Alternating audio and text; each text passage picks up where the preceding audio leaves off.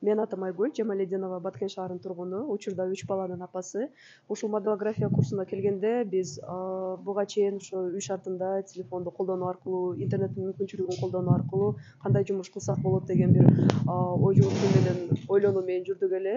Ушул санарип айым долбооруна катышып калып моделография курсуга жети күн оффлайн катышып биз кантип туура сүрөт тартсак болот камераны кантип настройка кылсак болот эң кызыктуу рилстерди постторду публикацияларды инстаграм социалдык баракчаларды кантип туура алып барганды үйрөндүк. Ошондой эле кыска мүнөттүк ошо видеороликтерди жасаганды профессионалдуу түрдө кандайдыр бир башка жеке ишкерлердин продукцияларын бирөөлөргө тартуулаганды өзүбүздүн кызматыбызды ушул телефондун жардамы аркылуу кызмат көрсөтүп кошумча киреше алууга ушул моделография курсу бизге чоң мүмкүнчүлүк берди.